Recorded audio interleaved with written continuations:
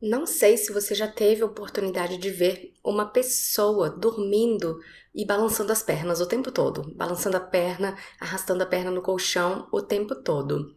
Essa é a síndrome das pernas inquietas, ou síndrome de Willis-Ekbom, uma doença neurológica que realmente resulta nessa necessidade incontrolável de mexer as pernas, principalmente à noite.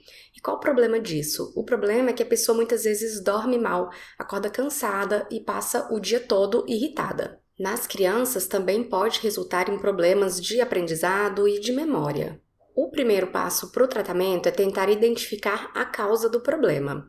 A causa pode ser genética, existem pessoas da mesma família que têm realmente a síndrome das pernas inquietas, mas a maior parte das causas são ambientais, relacionadas principalmente à dieta ou ao uso de medicamentos.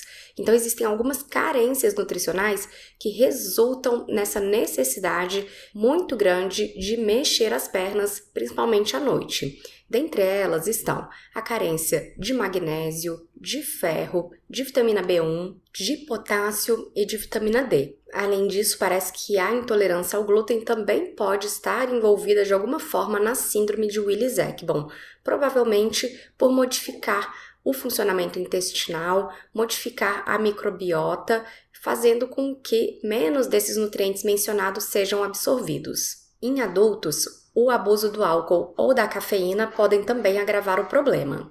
Um médico também irá investigar se o problema não decorre de doenças renais, de doenças autoimunes ou do diabetes. Alguns medicamentos também parecem estar envolvidos, então é importante se investigar se a pessoa não está fazendo uso de antihistamínicos, de medicamentos para náuseas, drogas antipsicóticas, lítio, inibidores da recaptação de serotonina, antidepressivos tricíclicos, medicamentos para dor ou medicamentos para tireoide como a levotiroxina. O tratamento pode envolver, então, a modificação da medicação, pode envolver reposição de nutrientes, e aí o nutricionista vai poder pedir os exames e mexer na dieta e propor uma suplementação caso seja necessário. Talvez seja necessária a exclusão do glúten e o tratamento do intestino com o uso de bactérias probióticas. Se alguma doença for identificada, a pessoa vai precisar passar logicamente pelo tratamento daquela doença.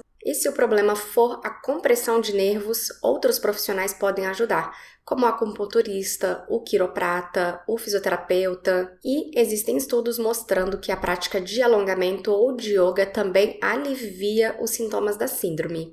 Se você conhece alguém com problema, mande esse vídeo para essa pessoa. Eu, inclusive, estou gravando após ter recebido uma mensagem de uma pessoa que tem um filho com a síndrome das pernas inquietas. Um grande abraço.